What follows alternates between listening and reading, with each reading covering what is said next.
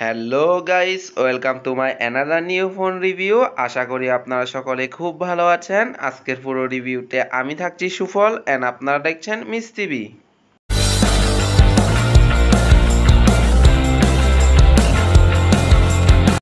Realme five I প্রথমে আসা যাক ফোনটির আনবক্সিংয়ে ফোনটি খুললেই প্রথমে পেয়ে যাবেন ফোনটির ইউজার ম্যানুয়াল এরপরে থাকছে ফোনটি। ফোনটি দেখতে খুবই সুন্দর। এ বাজেটে এটি বেস্ট ডিজাইন বলা চলে। ফিঙ্গারপ্রিন্ট সেন্সর এবং পাওয়ার বাটনটি ছিল খুবই ভালো অবস্থানে। এরপর পেয়ে যাবেন একটি ফাস্ট চার্জার এবং এর সাথে একটি ইউএসবি কেবল। এছাড়া থাকছে ফোনটির সিম এজিক্টর টুল। এসবই আপনি ফোনটির আনবক্সিংয়ের ক্ষেত্রে পেয়ে যাবেন। সো গাইস প্রথমে আসা যাক ফোনটির ডিসপ্লেটিকে নিয়ে। ফোনটির ডিসপ্লেটি সিক্স পয়েন্ট ফাইভ টু ইঞ্চির একটি আইপিএস এলসিডি প্যানেল যার resolution HD plus seven twenty into one thousand six hundred pixel যার PPI two hundred sixty nine display quality ছিল মোটামুটি ভালো। সিক্স পয়েন্ট ফাইভ টু ইঞ্চির একটি বড় ডিসপ্লে হওয়ার কারণে ভিডিও দেখার সময় অনেকটাই ভালো লাগবে। ফোনটির ডিসপ্লে প্রোটেকশনে থাকছে কর্নিং গরিলা গ্লাস তবে এটি কোন জেনারেশনের তা বলা হয়নি। তবে আমার মতে এটি কর্নিং গরিলা গ্লাস থ্রি ফোনটির ডিউরেবিলিটি ছিল মোটামুটি ভালো।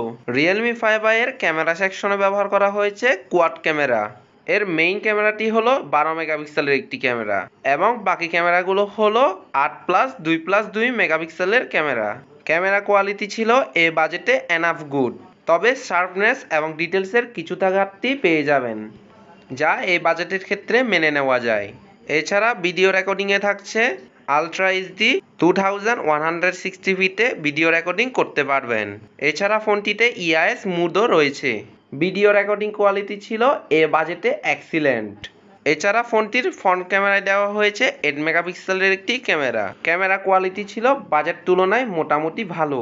ফোনটির অপারেটিং সিস্টেম ব্যবহার করা হয়েছে অ্যান্ড্রয়েড টেন এবং কালার ওয়াইজ সিক্স ফোনটির চিপসেটে ব্যবহার করা হয়েছে স্ন্যাপড্রাগনের সিক্স সিক্সটি ফাইভ প্রসেসর যা ইলেভেন এনএমের মেইন প্রসেসরে দেওয়া হয়েছে octacore up to two point zero জিগাহার্সের একটি প্রসেসর এছাড়া জিপিইউতে দেওয়া হয়েছে অ্যাড্রিনো সিক্স হান্ড্রেড টেন ফোনটির প্রসেসরটি একটি budget gaming processor Free Fire call of ডিউটির মতো অপটিমাইজ গেমগুলো আপনি এখানে খুব স্মুথলি খেলতে পারবেন।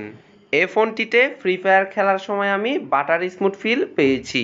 তবে পাবজির মতো হেভি গেমগুলো খেলার সময় কিছুটা ফ্রেম ডট লক্ষ্য করবেন, যা এ বাজেটের ক্ষেত্রে গ্রহণযোগ্য। ফোনটির ব্যাটারি সেকশনে ব্যবহার করা হয়েছে, লিথিয়াম পলিমারের পাঁচ হাজার এমএচের একটি নন রিমুভেবল ব্যাটারি।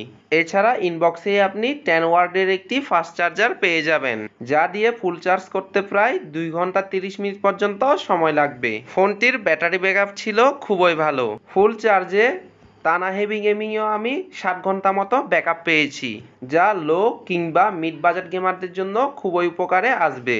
ফোনটির সিম সেকশনে ব্যবহার করা হয়েছে ডুয়েল ন্যানো সিম কার্ড যেখানে দুটি সিম অথবা একটি সিম একটি মেমোরি কার্ড ইউজ করতে পারবেন। এছাড়া ফোনটির ইউএসবি সেকশনে ব্যবহার করা হয়েছে ইউএসবি ওটিজি তবে থাকছে না ইউএসবি টাইপ সি ফোনটির নেটওয়ার্ক সেকশনে রয়েছে টু জি থ্রি জি এবং ফোর জি সাপোর্টেড এছাড়া ফোনটির নিচের দিকে পেয়ে যাবেন three point five M M হেডজ্যাকটি ফোনটির লাউড স্পিকারটিও ছিল মোটামুটি লাউড এছাড়া ডে টু ইউজে ওয়াইফাই স্পিড এবং ফোনে কথা বলার সময় তেমন কোনো একটা নেটওয়ার্ক সমস্যায় পড়িনি। এছাড়া ফোনটির সিকিউরিটি সেকশনে থাকছে ফিঙ্গারপ্রিন্ট সেন্সর এবং ফেস আনলক ফিঙ্গারপ্রিন্ট সেন্সর এবং ফেস আনলক ছিল খুবই ফাস্ট ফোনটির র্যাম রোম ভেরিয়েন্টে থাকছে। র্যাম তিন চার জিবি এবং রোম বত্রিশ এবং চৌষট্টি জিবি। ফোনটি বাংলাদেশে অফিসিয়ালি লঞ্চ করা হয়েছে। এর চার চৌষট্টি ভেরিয়েন্টটির বর্তমান প্রাইস বারো হাজার নয়শো নব্বই টাকা। ফোনটির প্রাইস বিবেচনায় ফোনটিকে আমার অনেকটাই ভালো মনে হয়েছে। বাকিটা আপনাদের চয়েস সো গাইজ ভিডিওটি ভালো লাগলে অবশ্যই লাইক কমেন্ট শেয়ার করবেন এবং don't forget to subscribe our channel so আজকের ভিডিওটি এই পর্যন্তই। পুরো ভিডিওটি ফার্স্ট টু লাস্ট দেখার জন্য আপনাকে অসংখ্য ধন্যবাদ। ভালো থাকবেন, সুস্থ থাকবেন, এটাই কামনা করে আজকের ভিডিওটি শেষ করলাম।